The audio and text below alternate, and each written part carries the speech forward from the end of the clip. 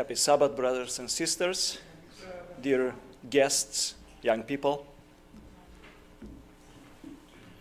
Um, we are privileged, and I think every one of you uh, made an effort to come this morning to church. It is a beautiful Sabbath morning. As I was driving, um, you can see the fog a little bit, and then you can see it's going to be a wonderful, sunny, uh, maybe mixed with clouds, but beautiful day, which, um, which I, I, think brings sunshine uh, in our lives as well. So today we are going to um, we are going to look at this topic, uh, which was already announced: steps to Christ. Anyone can help me? Do you know of a book with the same name? Yeah. There is a book, right? Yeah. Written by Sister White, Steps to Christ. And um, before we discuss and meditate upon this topic, I'd like to take you to um, several.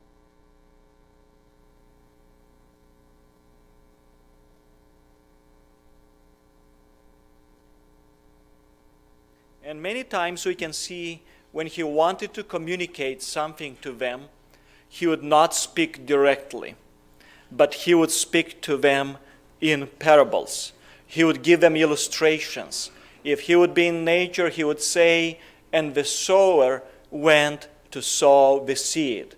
If he was by the seaside, he would say, well, and they went to catch fish. So he would give always parables from nature, from, um, from society, from their culture, and, um, and many other uh, things that they would encounter almost daily.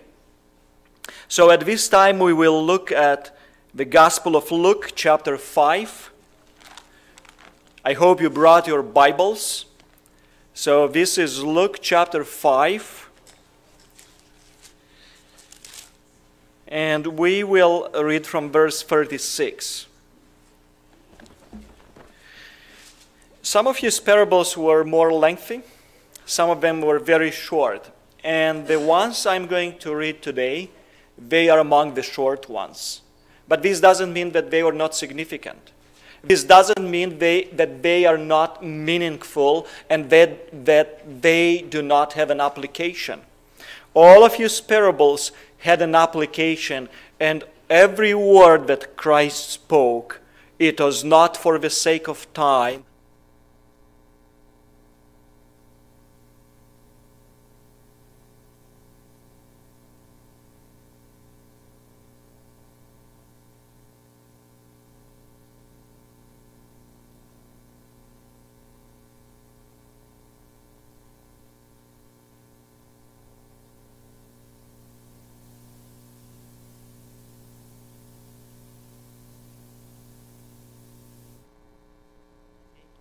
Who? A publican. So he called him to become one of his disciples. And some of the Pharisees and, and Sadducees, they were questioning the um, qualities and the uh, society he was calling his disciples. And then he gave them these parables because they were saying, well, couldn't he find, you know, something better in Judea? Couldn't he go to some of the scholars? Couldn't he go to some of the people who went to the schools of the prophets, to some people that studied law and studied Torah? How come that he goes to these people of a lower grade in society? Some of them were considered as outcasts. And Christ gives them these parables. Now, watch this. This is Luke 5:36.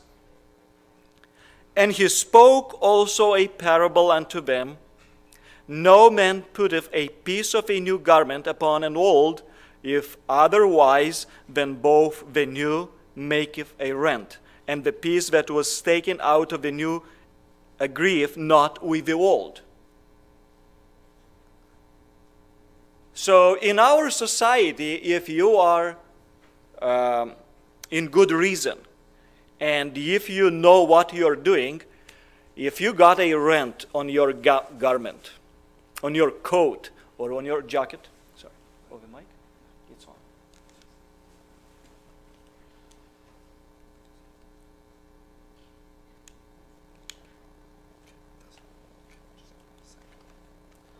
Sorry about that. So if you got this, this rent or this issue with the garment, nobody buys a new one to do what? To, to fix the old one, right? You would do what? You, you would find a, a, a, a used one and you would fix. And, and this is what Christ is saying here. So th- this is the first parable.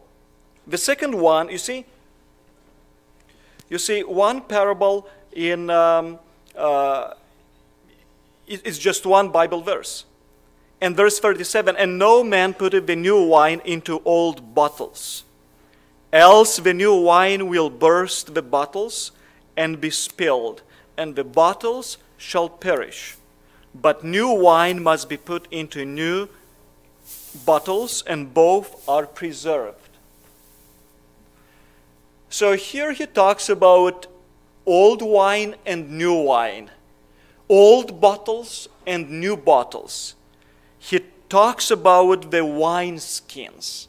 And I'd like to give you some background what he was talking about because probably for many of us we would not understand living in the 21st century what it means wine skins.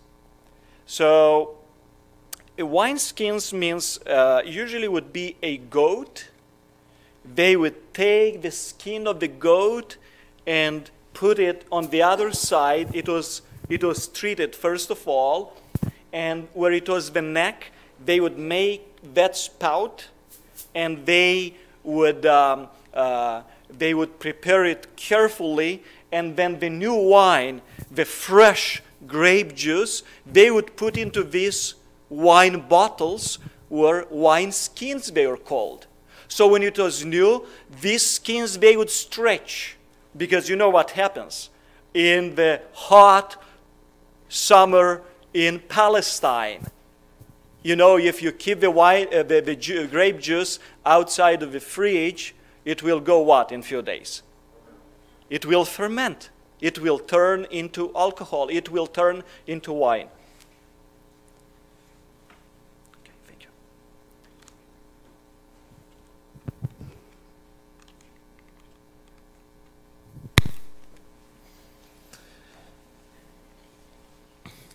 So,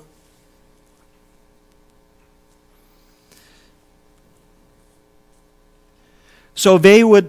This was the way how they would preserve, uh, how they would would keep the wine in these wine skins. So imagine this if you have a new harvest, you got new grapes, and you make new grape juice. And then th- th- Christ says, No one who is in good mind will take the old wine skins or the old bottles, because they didn't have the plastic bottles in the first century. So that's how they would preserve. So nobody, he says, will take the old ones and would put the new wine in the old ones. Otherwise, we'll do what? It will burst. It will burst. So he says, but new wine must be put into new bottles, and both are preserved. And the last text here it says, verse 39 No man also having drunk old wine straightway desireth new, for he saith, The old is better. I, um, I'd like to give some, um, some explanation briefly what he was meaning by telling them these parables. So, what was behind? What was he going to communicate to them? I'd like first of all to read from uh, uh, Bible Commentary, vol- Volume 5, page 1088. The work of Jesus was to reveal the character of the Father and to unfold the truth which he himself had spoken through prophets and apostles. But there was found no place for the truth in those wise and prudent men. Christ, the way, the truth, and the life, had to pass by the self righteous Pharisees and take his disciples from unlearned fishers and men of humble rank. These who had never been to their rabbis, who had never sat in the schools of the prophets, who had not been members of the Sanhedrin, whose hearts were not bound about with their own ideas, these he took and educated for his own use. He could make them as new bottles for the new wine of his kingdom. These were the babies to whom the Father could reveal spiritual things, but the priests and rulers, the scribes and Pharisees, who claimed to be the depositaries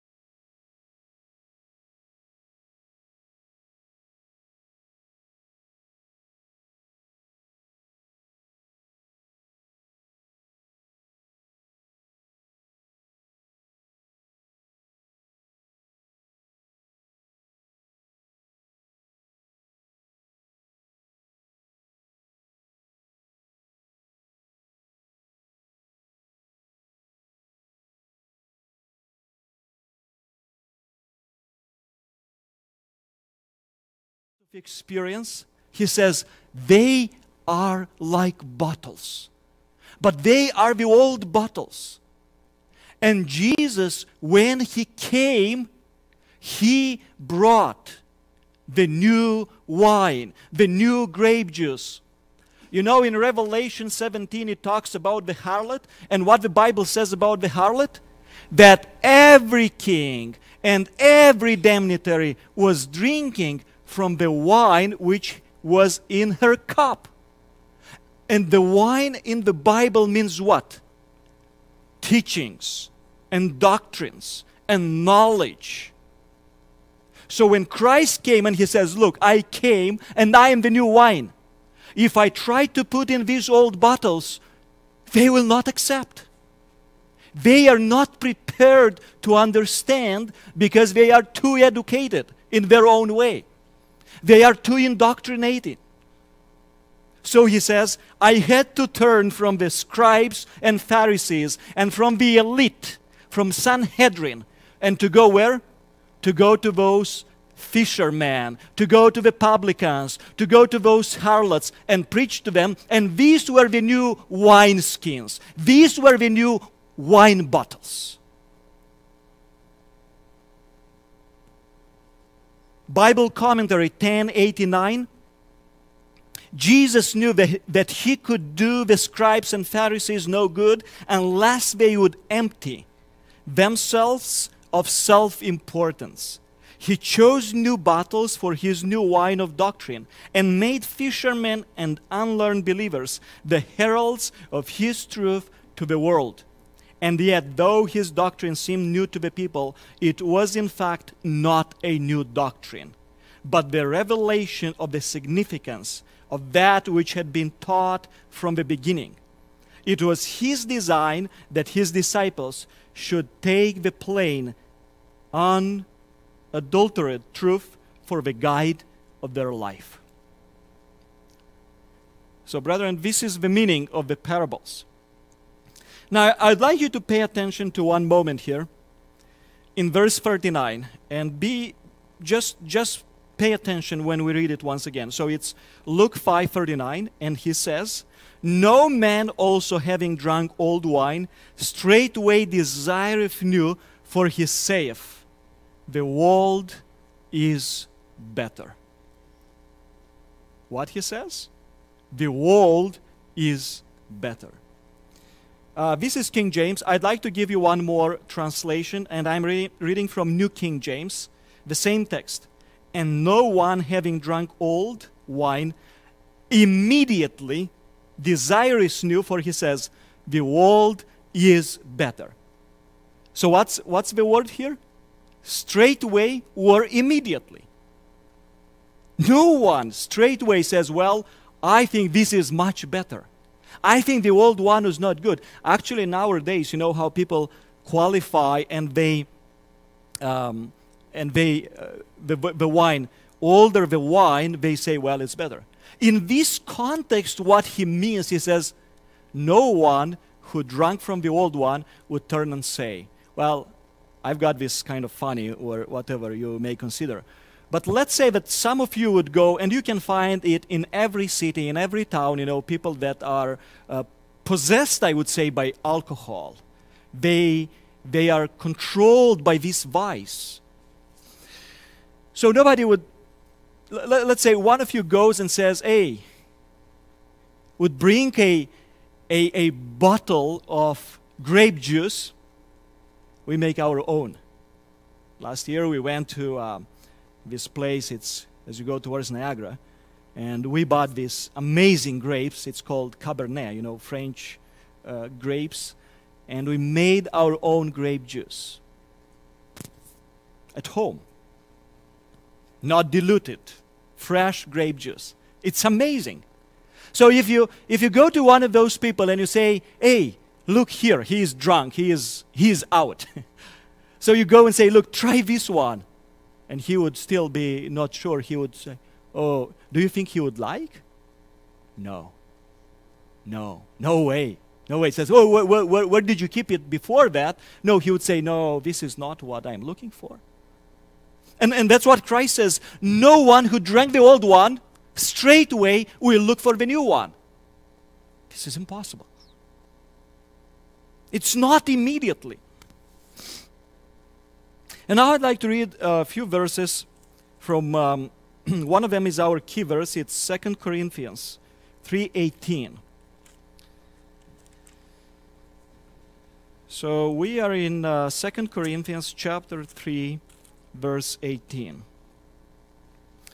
But we all with open face beholding as in a glass the glory of the Lord are changed into the same image from glory to glory even as by the Spirit of the Lord. Brethren, let me ask you if you paid attention to the scripture, how are we going to be changed? From glory to glory. This is just one verse.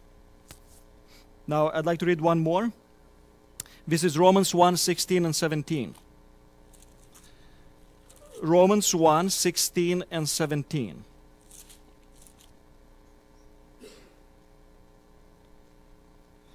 For I am not ashamed of the gospel of Christ, for it is the power of God unto salvation to every one that believeth, to the Jew first and also to the Greek.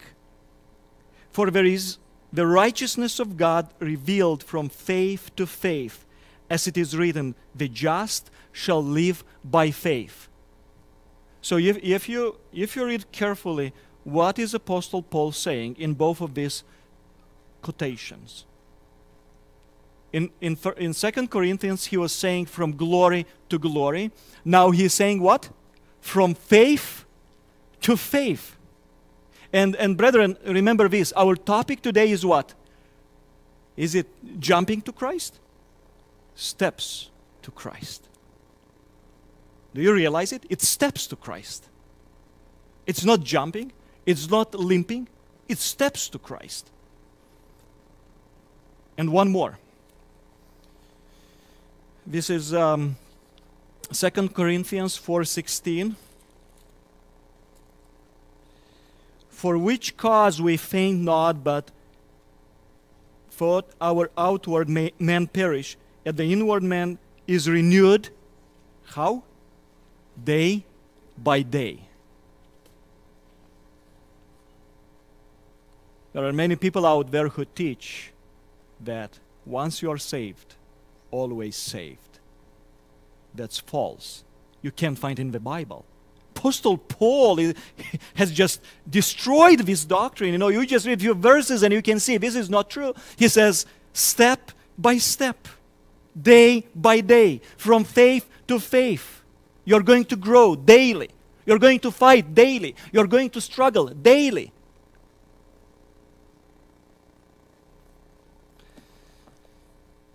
Let's read one, uh, one paragraph from the book Steps to Christ, page 69.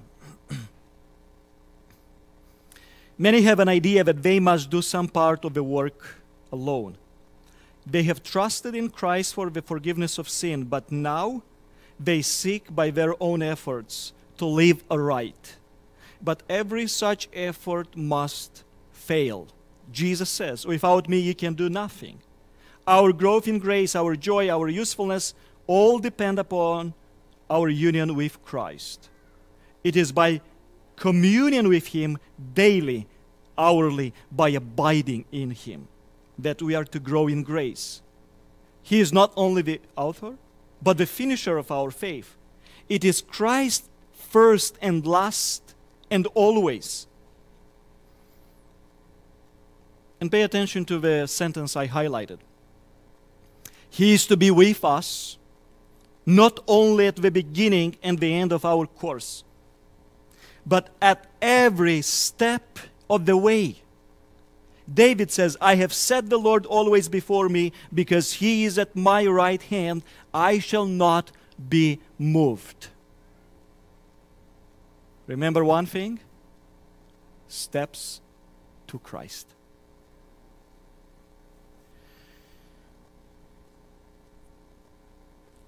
Here we, uh, we will, would like to talk a little bit about sanctification.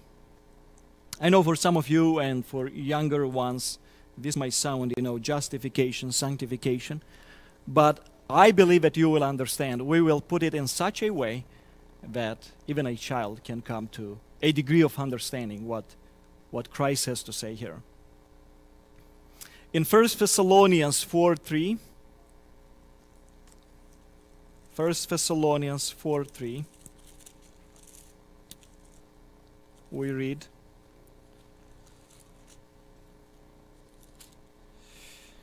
For this is the will of God, even your sanctification, that ye should abstain from fornication. What is the will of God? Our sanctification. Counsels for the Church, one paragraph, page 56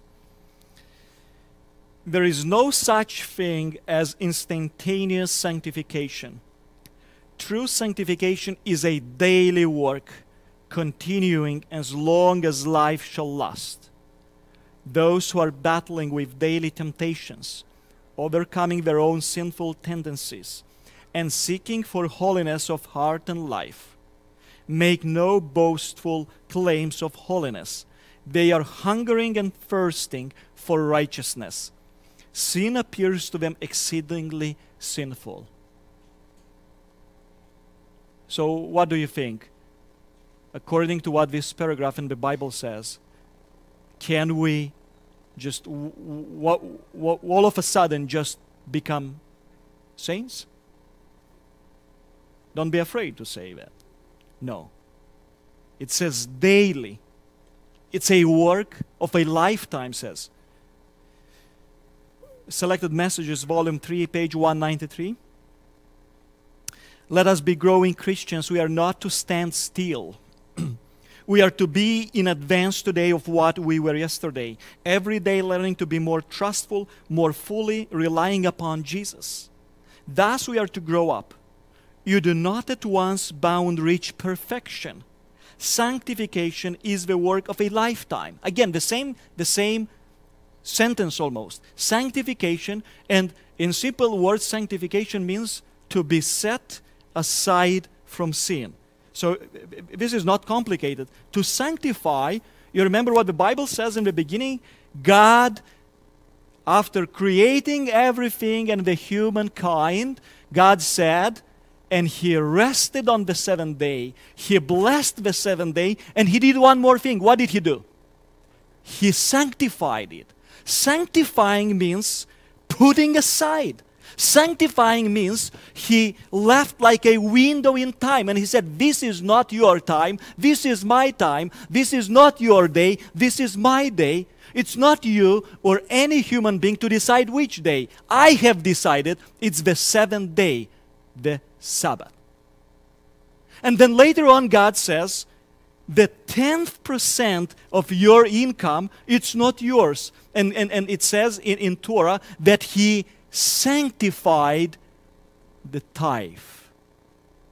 So you see, things which are sanctified, they, they, are put aside. When the Bible says that God's desire is your sanctification, God wants what?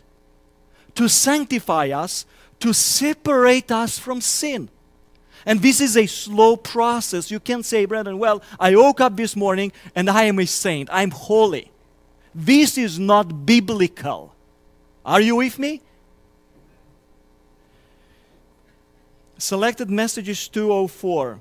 Excitement is not sanctification. Entire conformity to the will of our Father which is in heaven is, do, is alone sanctification. And the will of God is expressed in His holy law. The keeping of, the, of all the commandments of God is sanctification. Can we keep the commandments of God on our own? No. So that's why it's a cooperation in between the human and the divine, in between man and Christ. Proving yourselves obedient children to God's word is sanctification. The word of God is to be our guide, not the opinions or ideas of man.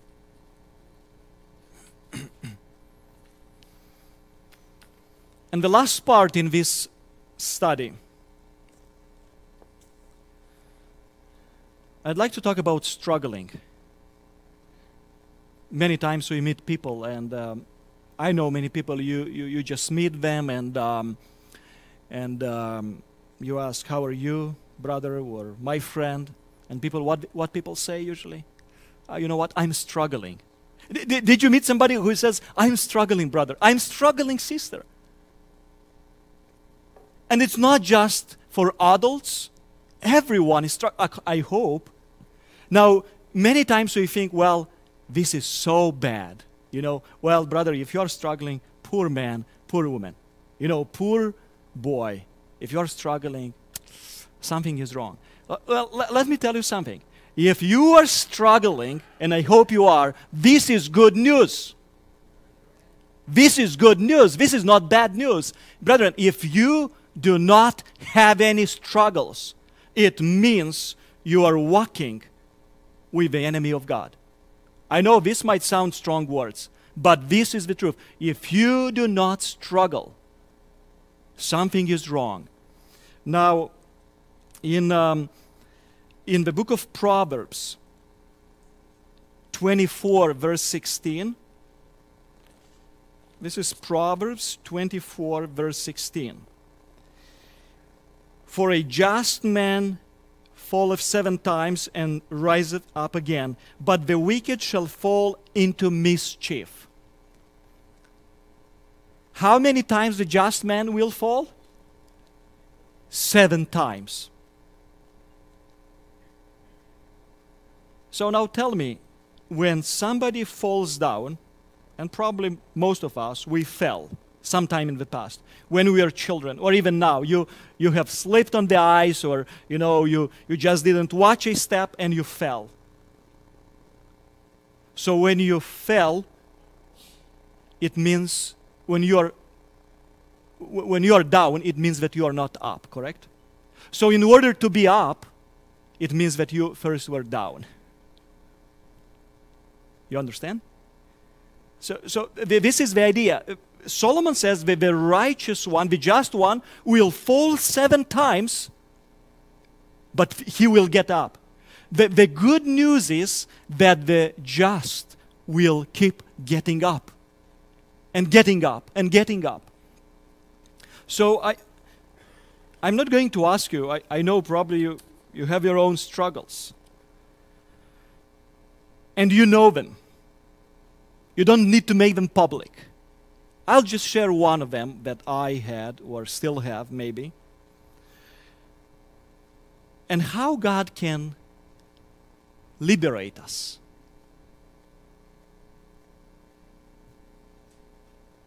Many years ago, when I was younger, I'm still young, hopefully.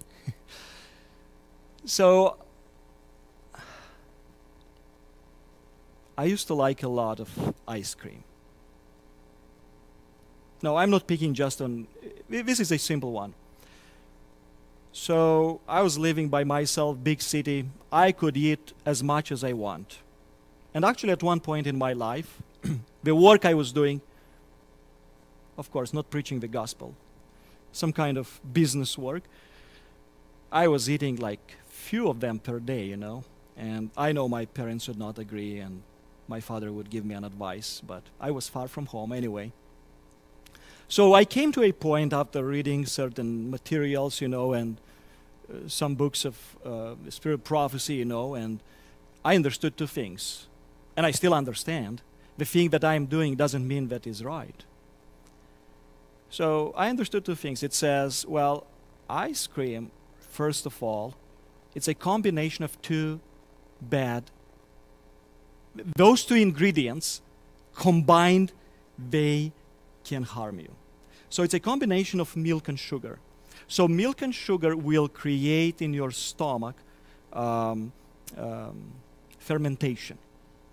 So I'm not trying now to convince anyone, or I'm just giving an example. Number two, because it's so cold, it's not good, first of all, for the teeth, and secondly, for stomach. So two things, cold and bad combination. So I said, Lord, please help me. I want, I want to, to stay away. And believe it or not, I asked God, and for about two years, I didn't touch any. So, see, certain things in your life, if you ask God, says, Lord, I'm struggling with this and that. And the Lord will help you, liberates you. Somebody str- struggling with drinking. Somebody struggling with smoking. Somebody struggling with um, uh, some other things, uh, di- different habits.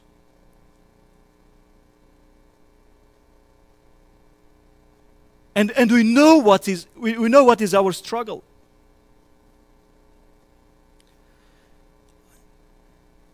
I wish every struggle we had would be so simple.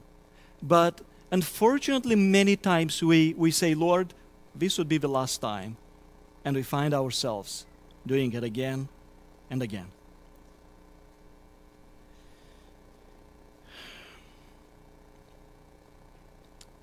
Steps to Christ, page 70.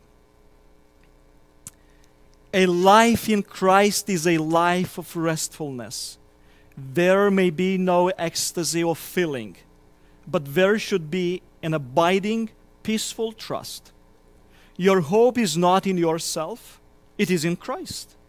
Your weakness is united to His strength, your ignorance to His wisdom, your frailty to His enduring might, so you are not to look to yourself not to let the mind dwell upon self, but look to Christ.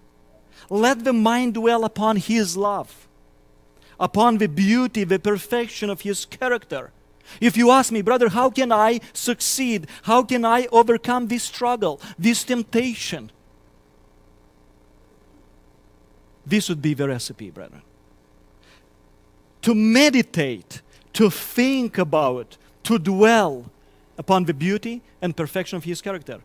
And notice the next sentence Christ in his self denial, Christ in his humiliation, Christ in his purity and holiness, Christ in his matchless love. This is the subject for the soul's contemplation.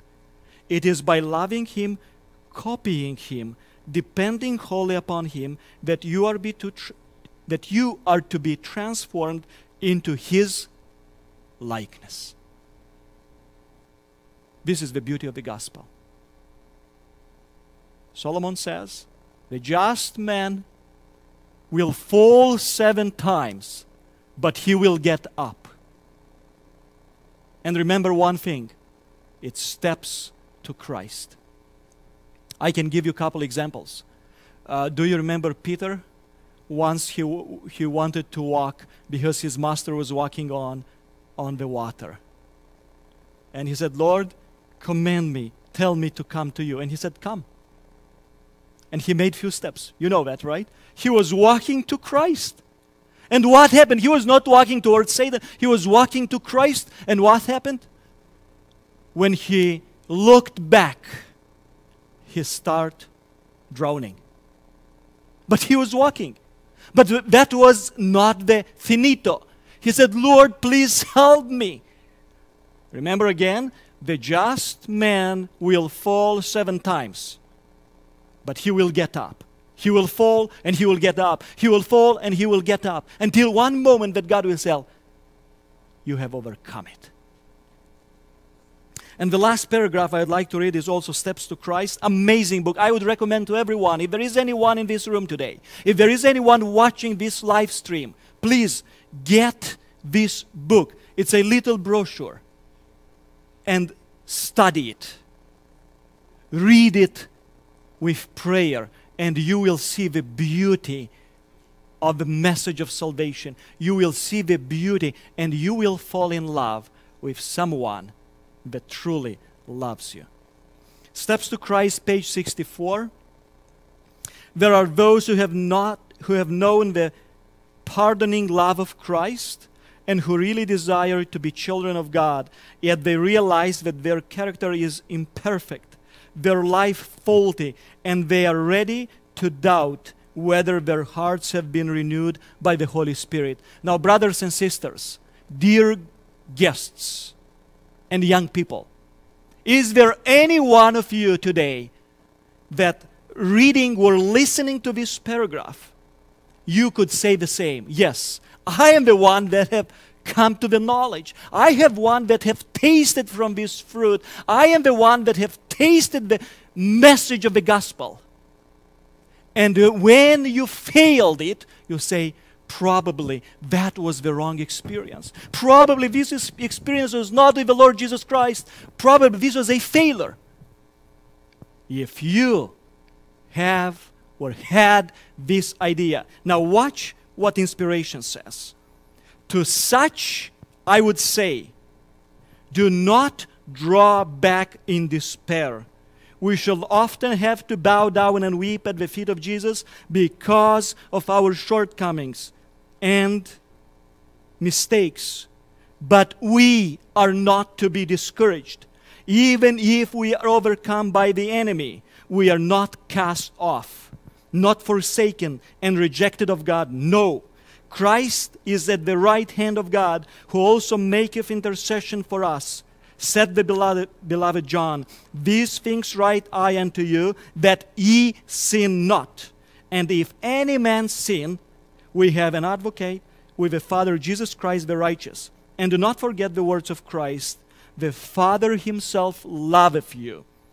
He desires to restore you to himself, to, his, to see his own purity and holiness reflected in you. And if you will but yield yourself to him, he that have begun a good work in you will carry it forward to the day of Jesus Christ. Pray more fervently, believe more fully. As we come to distrust our own power, let us trust the power of our Redeemer, and we shall praise him who is the health of our countenance.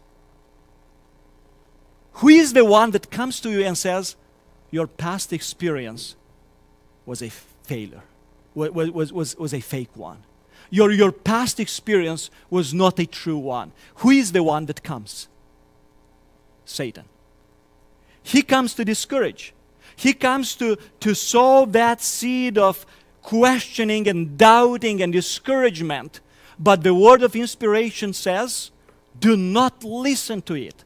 That was not fake. That was not artificial. That was a true experience. But remember one thing we are not jumping, but we are what? We are walking steps to Christ. This is my message, brothers and sisters, today. So if we listen carefully, and I hope that each and every one of you will have this experience personally with the Lord Jesus Christ. It says here, He didn't give up on us. He didn't say, Well, I am done with you. He is still waiting, and He wants us that we would understand the experience of salvation. It means steps to Christ. Amen.